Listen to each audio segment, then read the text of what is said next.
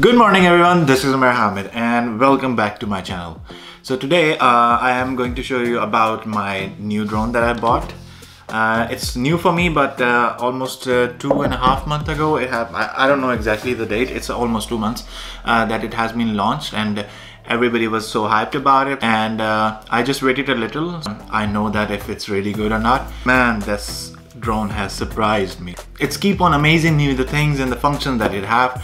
For example, if we uh, talk about the battery life, right from the start when I turn it on, uh, I get 32 minutes. Uh, they say 34 minutes. I don't know how do they calculate it, but I get 32 minutes of uh, life that I have, and I can do tons of job in just single battery. That's why I didn't bought uh, the combo. So I just bought this drone with its uh, built-in battery, and to save money, I didn't bought the combo, and I bought these Polar Pro filters. Uh, these filters are really helpful when you are uh, flying in different uh, light situations.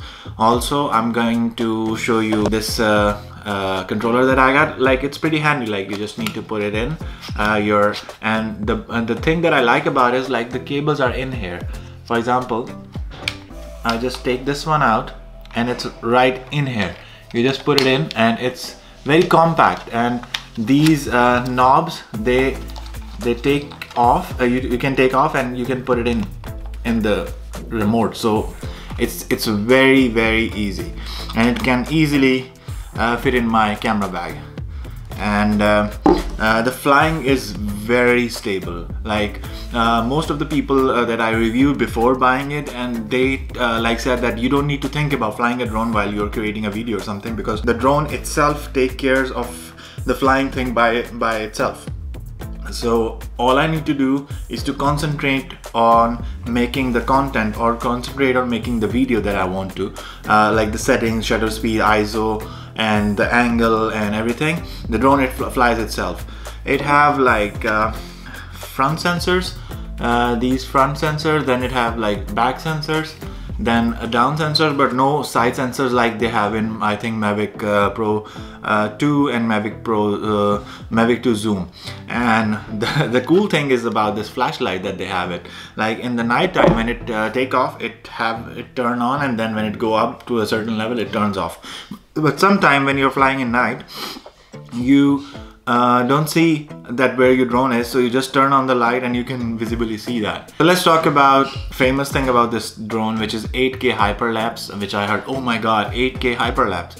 So i have created bunch of it and any uh, most of those uh, hyperlapse that i have created it's like just blew my mind because it's so incredibly good crispy and awesome is the function when it uh, takes different angles it have a smart feature which uh, called like dronie then it circles you around as well and you get a like a quick shot which, in which you just stays and it just go away from you and then you have this uh, uh, rocket mode where you just uh, stay and it's uh, takes uh, like a like a downward shot and then it goes up like a rocket. When I had my Mavic 1, Mavic Pro 1, I was very um, not concerned. I didn't like to fly it in the night because it was no like the sensor was not good enough. I mean it's a half inch sensor and still it's a very good uh, in in night. Like you can almost you can uh, you can grade it later on. It's not the the the amazing video but it is good.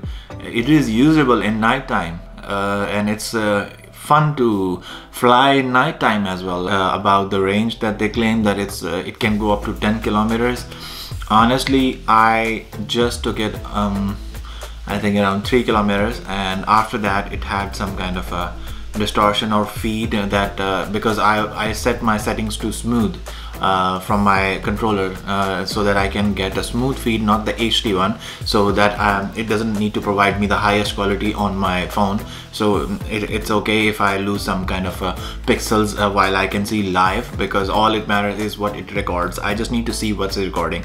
But uh, uh, its range I'm, I'm not sure that it can go more than four to five. Maybe people have tried but the I live in a very like open kind of area and I went by the lake and it's open there's no transmission or something like that but still it uh, it had like some problems. The uh, controller was losing the signal around three to four kilometers when it was three to four kilometers away. The one thing that I'm really annoyed by this drone is its cover.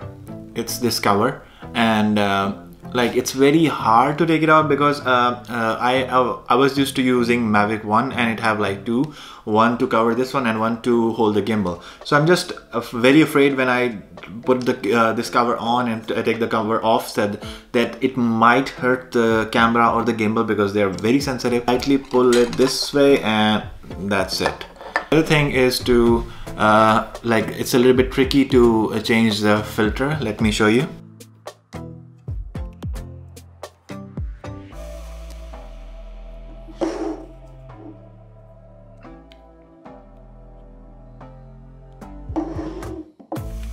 it's easy but you have to be very very careful while you are uh, installing the uh, ND filter. In my opinion, this is the far most uh, affordable and reasonable drone in the price that we get.